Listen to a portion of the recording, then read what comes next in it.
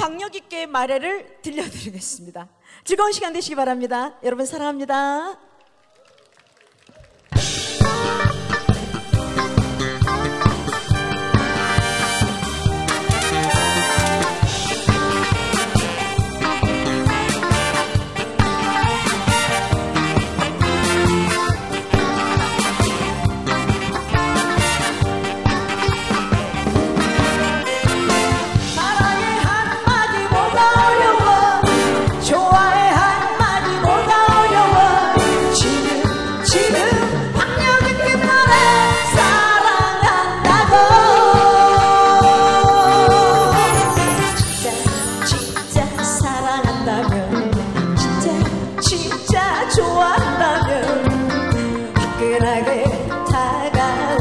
거지.